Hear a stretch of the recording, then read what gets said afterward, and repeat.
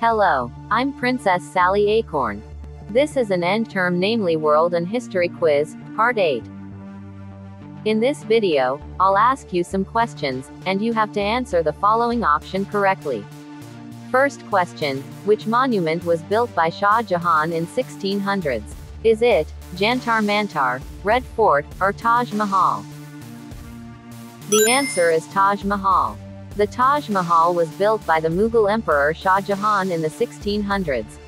The Taj Mahal, located in Agra, India, is renowned for its stunning white marble architecture and is considered one of the most iconic symbols of love.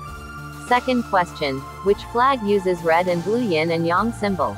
Is it China, South Korea, or North Korea? The answer is South Korea. The South Korean flag, also known as the Taegukgi, features a red and blue yin-yang symbol in the center.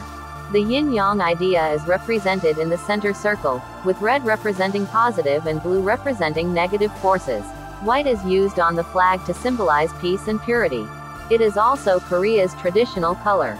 Third question. Russia has 11 time zones. True, or false? The statement is true. Russia is the largest country in the world that has 11 time zones, ranging from UTC plus 2 to UTC plus 12, or from Kaliningrad to Kamchatka time, that stretches across the vast expanse of Russia from its westernmost to its easternmost regions.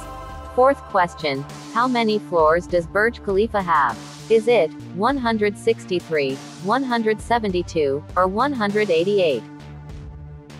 The answer is 163. The Burj Khalifa officially commenced on January 4, 2010. It consists of 163 floors in which the elevator speeds up to about 15 to 16 meters per second.